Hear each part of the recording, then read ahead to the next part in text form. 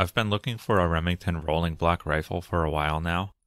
I have a couple previous videos on shooting an Argentine rolling block, but I have to confess, it's the one gun on my channel that doesn't actually belong to me, it's a buddy's, so I've wanted one of my own.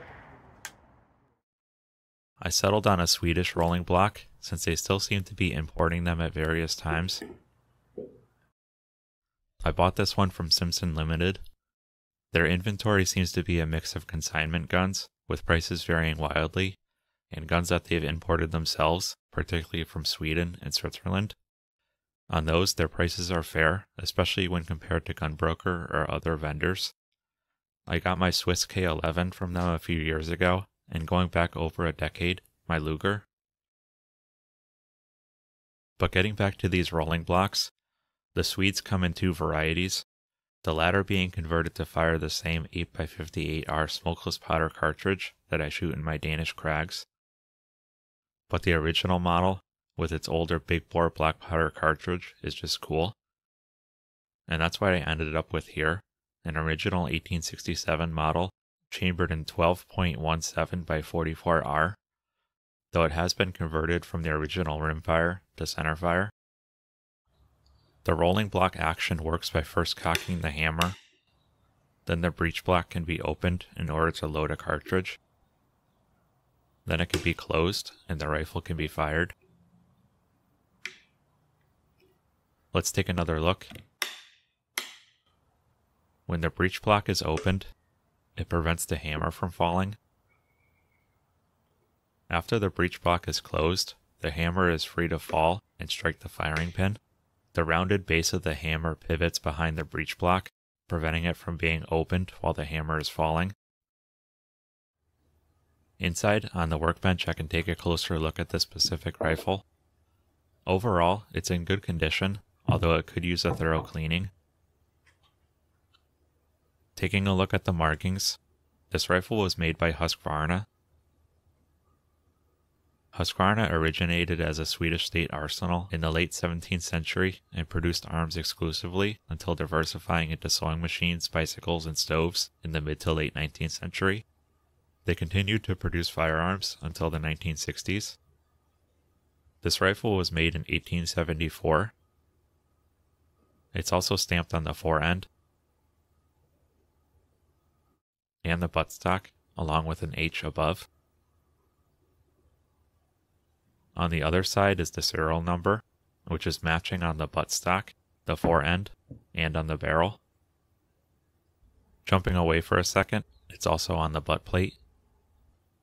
The fore end may be a replacement, as the serial number looks like it was stamped over top of another. These locking screws holding in the pivot pins for the breech block and the hammer are an example of an early pattern rolling block design. Latter patterns used a one-piece plate to retain both pins.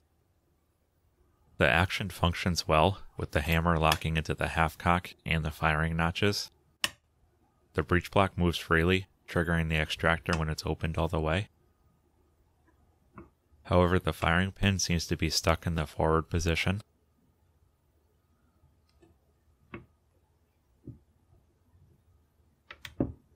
There's also an H on top of the barrel for Husqvarna.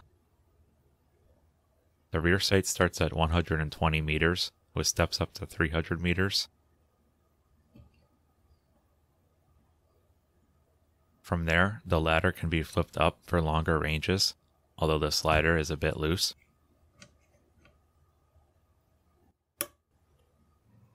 The fore end is solid.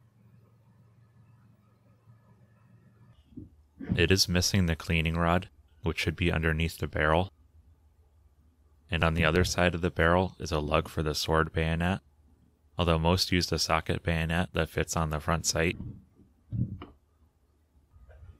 While the exterior is a bit rough, the bore is in great condition, with very deep grooves. As you've seen, this rifle is in fair overall condition, but it could really use a disassembly and cleaning. There is some rust, mostly on the barrel, and that will need to be converted. And then there is the matter of the stuck firing pin. So let's get started with taking this rifle apart. I'll start by removing the three bands on the fore end.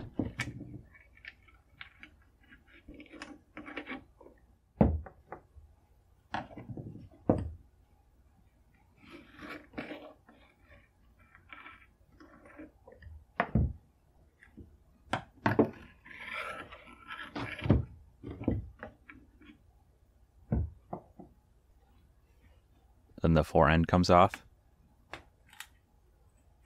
The fore end has the original serial number marked in pencil, 2187. There's some rust and dirt below the barrel, but nothing too concerning as I don't see any pitting.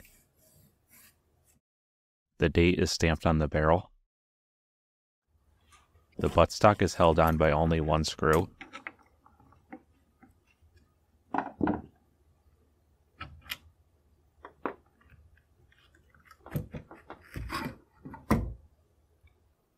To remove the butt plate, I'll first clean out the screw slots.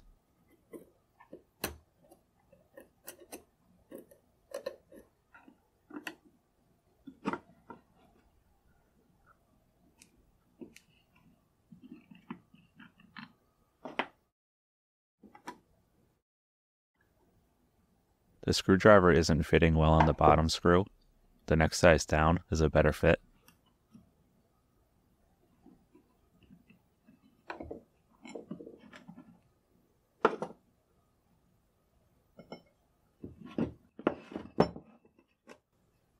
The buttstock is also marked with a pencil. With the furniture removed, I'll turn my attention to the action, starting with the breech block. The retaining screw comes right out. I'll make sure to keep these organized so they go back into the same spots.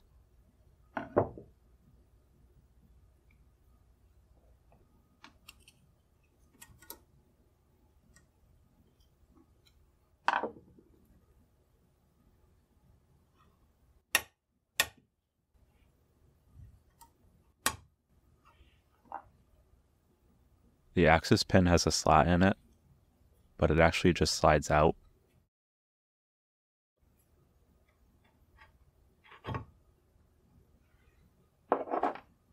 Then I can remove the breech block.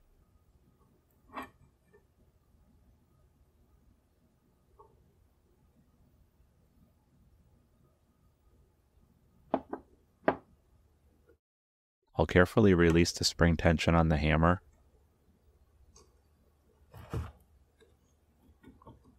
Then the pin can be removed.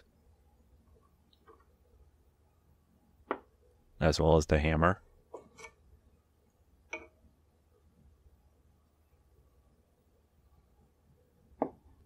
These two screws look to be for the trigger plate.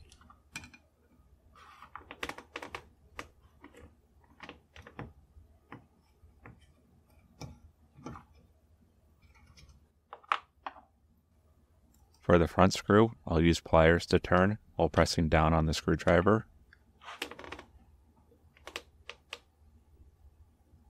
That broke it loose.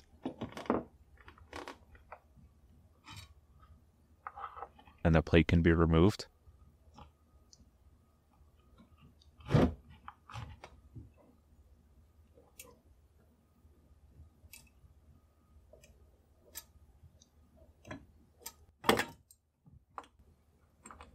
Get to this in a bit.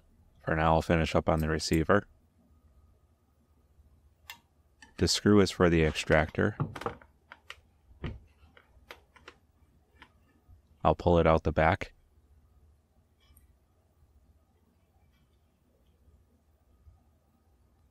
This part looks to be bent, but it has a screw head, so I'll try to undo it.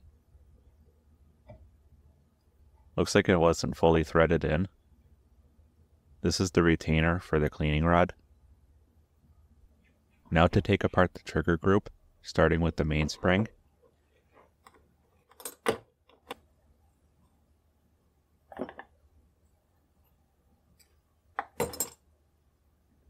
There's two more springs, the trigger spring,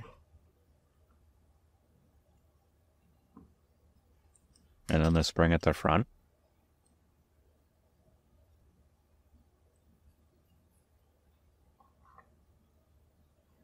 It puts pressure on this arm that biases the breech block either open or closed.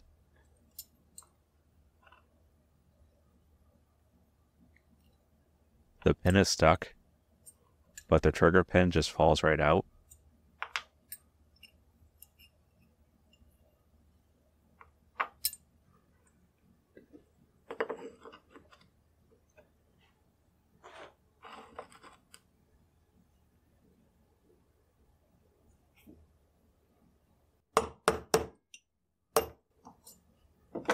The front pin just needed a few taps.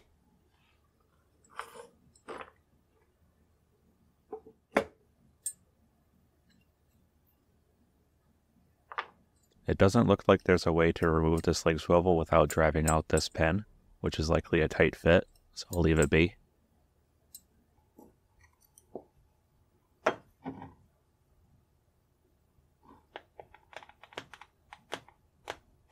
The firing pin retainer screw in the breech block is stuck.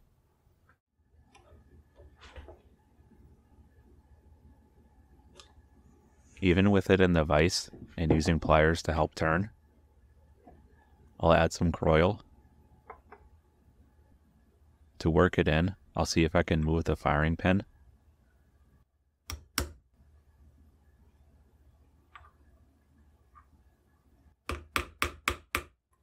Before I try to undo this again, I'll fix the deformed screw slot.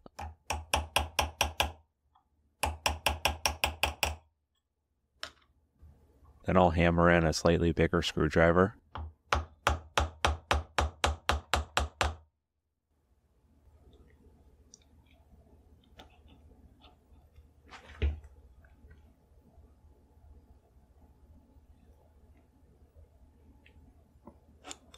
Thankfully it comes out.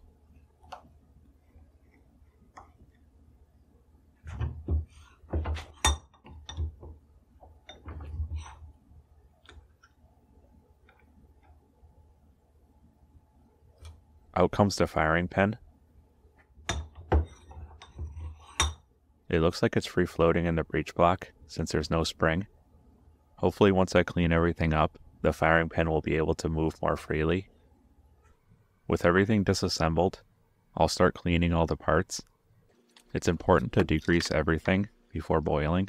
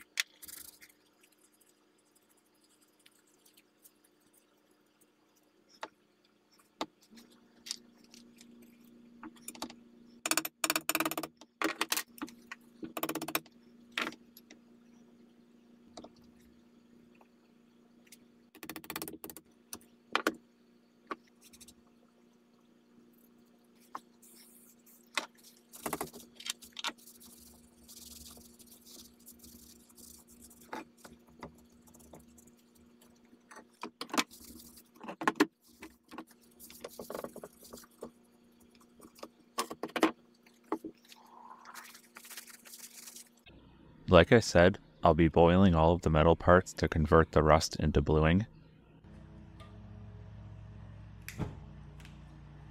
I'll add all of the small parts to the pot.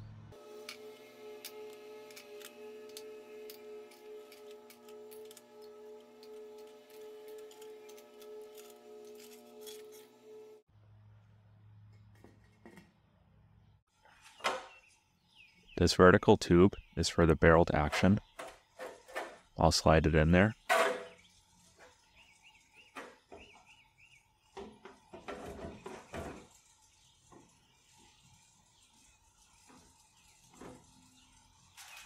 It's too narrow to fit the action all the way, so instead of the cap, I'll add foil to trap the steam.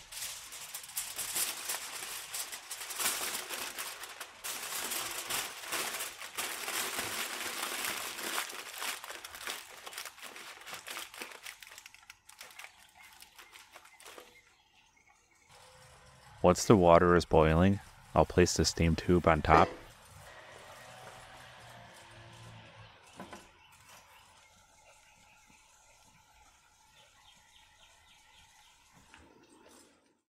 After about 45 minutes, I can shut off the gas. Removing the foil. Something's missing. Looks like the action slid down the tube. The heat from the steam must have softened the PVC into an oval shape, but now the action is stuck. I'll try to fish it out.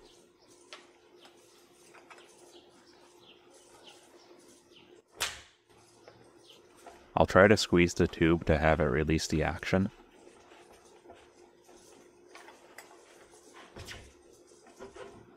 That worked. I'll just have to do it again near the top. Then I can finally pull it out.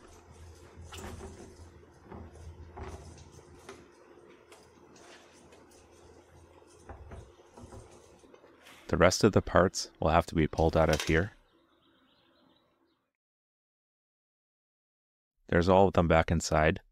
The heat evaporates the water quickly. Next, I'll be using this carding wheel.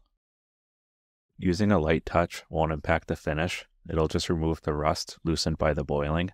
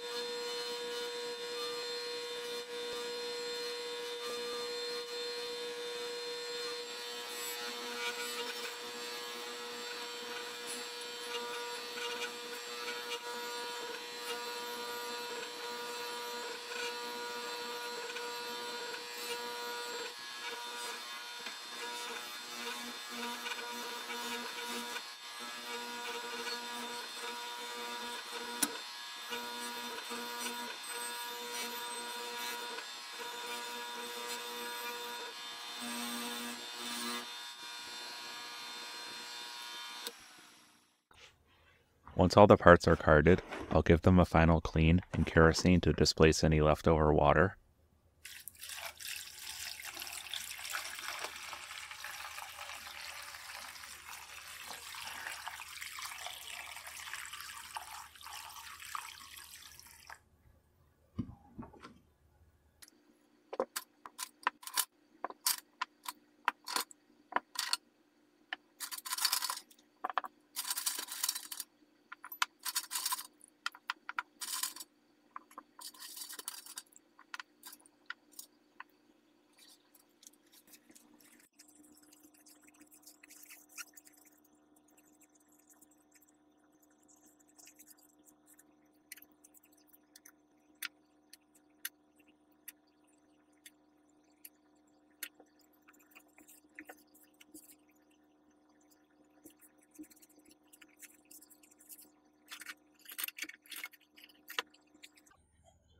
The bare metal and converted rust now needs a coat of protection.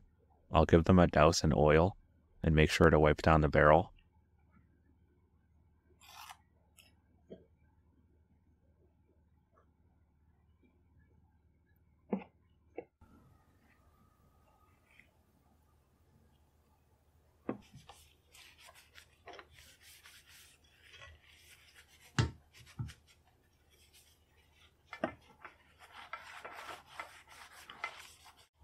While the metal is soaking up the oil, I'll turn my attention to the wood. It doesn't need anything really, just a light cleaning. The sticker does have to go, however. I won't take any chances, and I'll use a heat gun to remove it.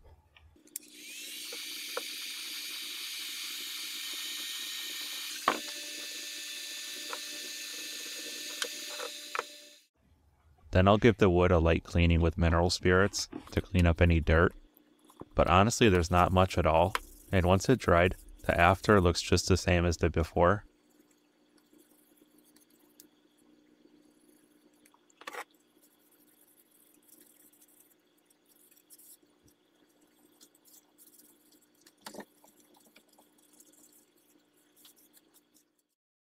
There's all of the metal parts wiped down, Oil is still in many of the holes and on the threads, so not much more is needed while reassembling. I'll start with the firing pin in the breech block.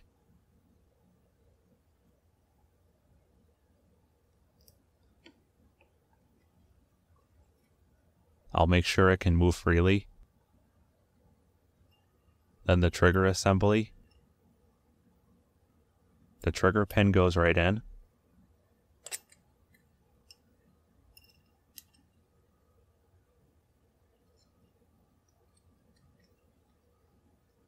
The front pin needs a squeeze to seat all the way.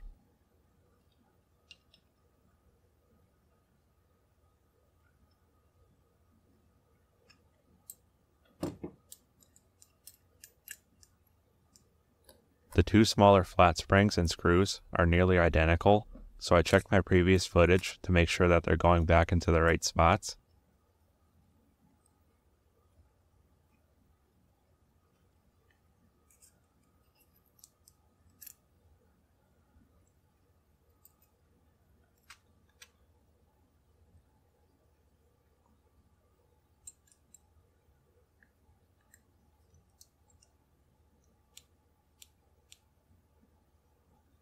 Mainspring completes the trigger assembly.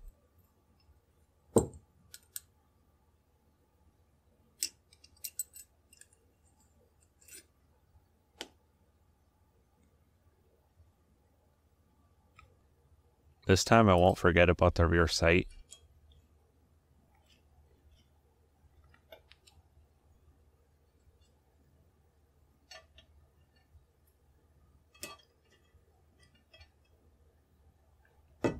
I'll use two pairs of pliers to compress the spring and to squeeze in the pin.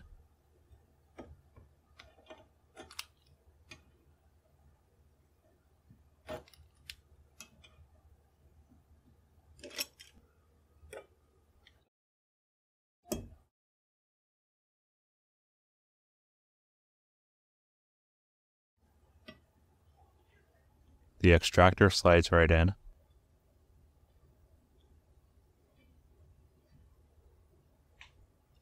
I'll check that it's able to move freely.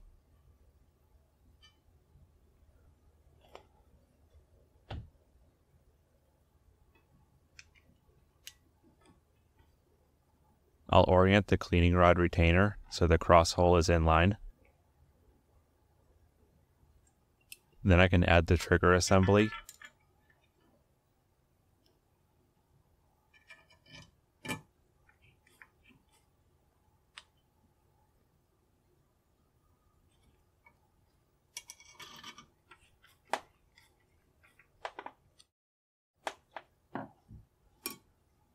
Next is the hammer with its pin and retaining screw.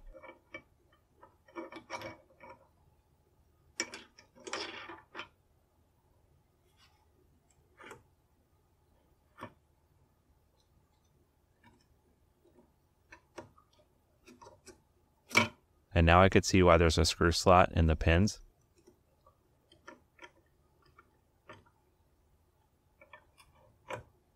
I'll cock back the hammer to fit the breech block.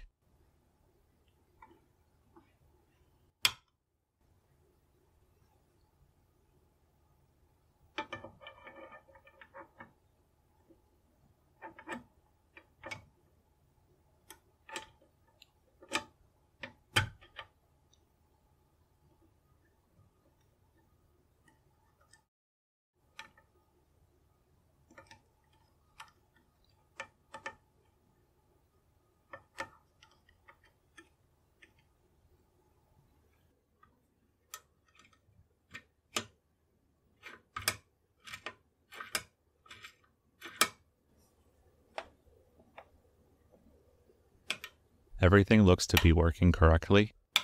For the furniture, I'll prep the bands.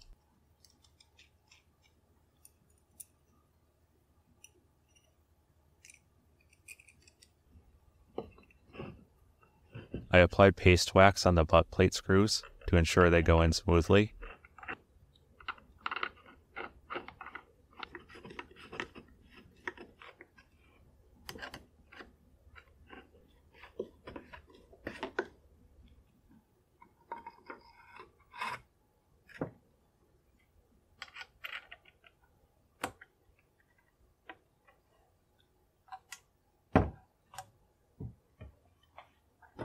Drops right in.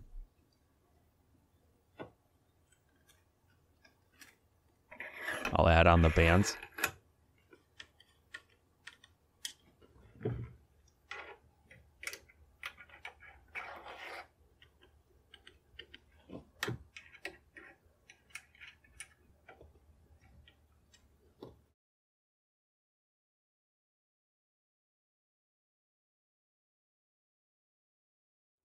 Here's the cleaned, converted, and assembled rifle, but I can't shake the feeling that something is missing. The cleaning rod. I'll be making my own. I researched it online and came up with this drawing of the head. Before I assembled the retainer and the receiver, I measured the thread size and pitch and ran a tap through to clean them up. Here I'm cutting the corresponding thread on the end of the rod, a piece of steel from the hardware store.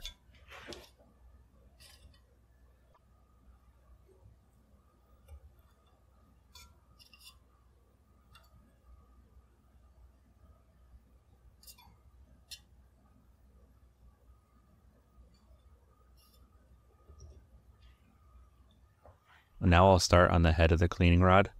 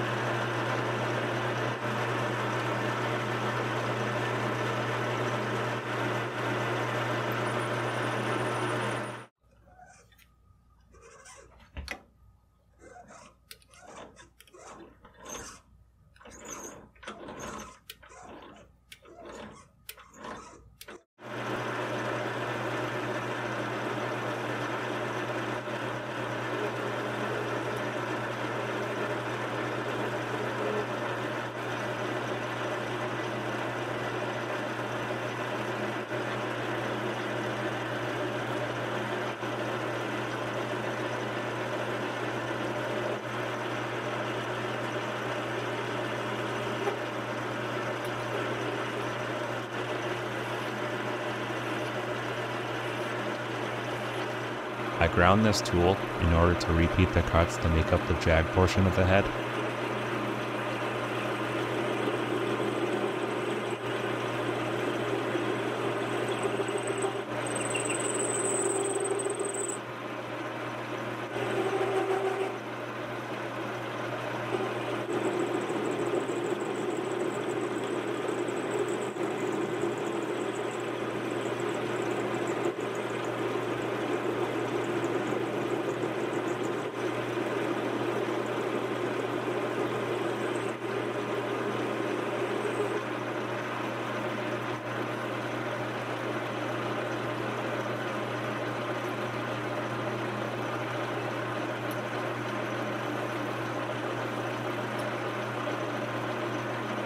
For the slot in the middle, I'll spot drill on either end.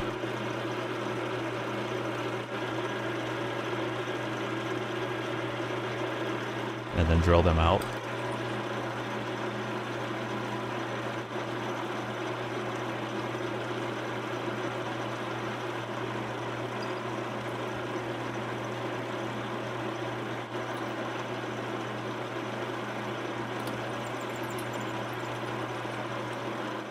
I ended up drilling another hole in between them. I don't have a small enough end mill to cut the slot on the lathe, so here I'm filing it in by hand.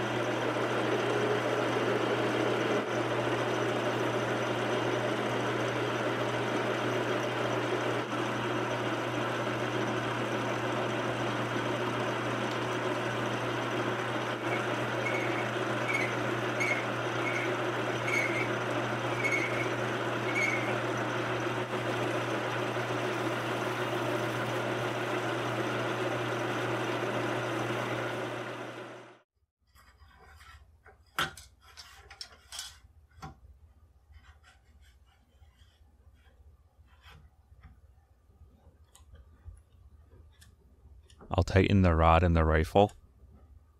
Then I can mark the length.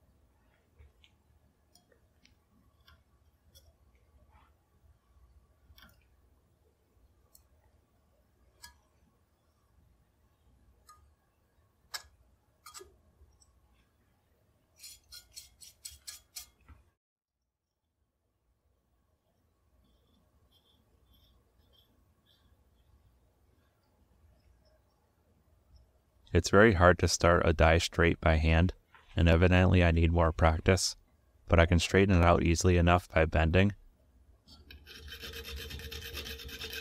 Then I'll smooth out the transition in between the two pieces.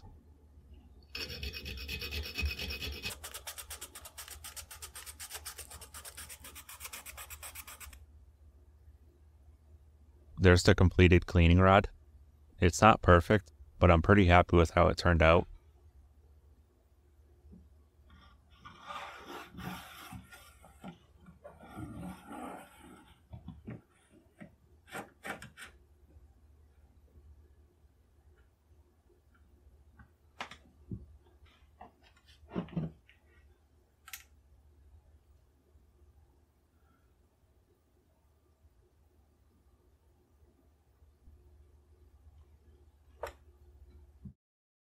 With the rifle now feeling a bit more complete, there's one more thing to do, and that, of course, is to shoot it. I bought preformed cases from Buffalo Arms for a very reasonable price. I also got a set of 5070 dies, which can be used in place of a specific die set. Last, I bought a Lee bullet mold, again one intended for making 5070 bullets. I used those three to make this, a dummy round without a primer.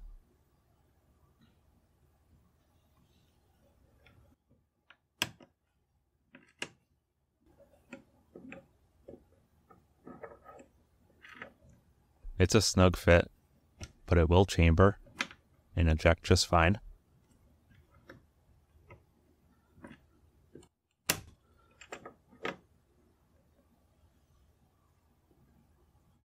Now to load up some actual rounds.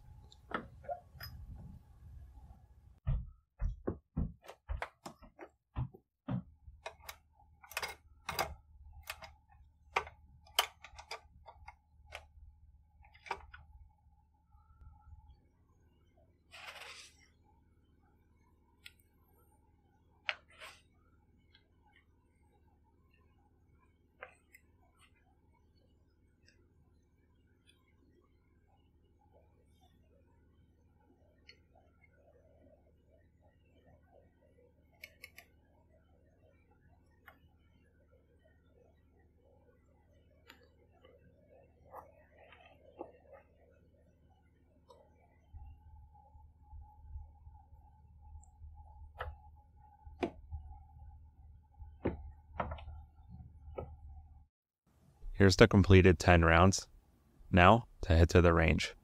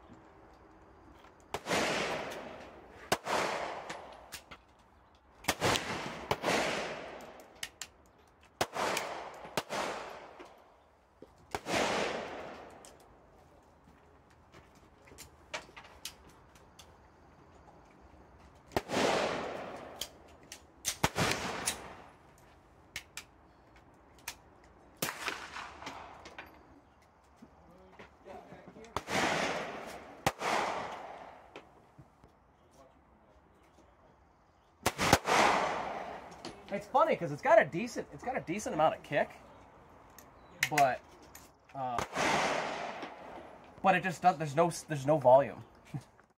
The rifle shot all 10 rounds flawlessly. The grouping was decent too, especially for just throwing rounds downrange.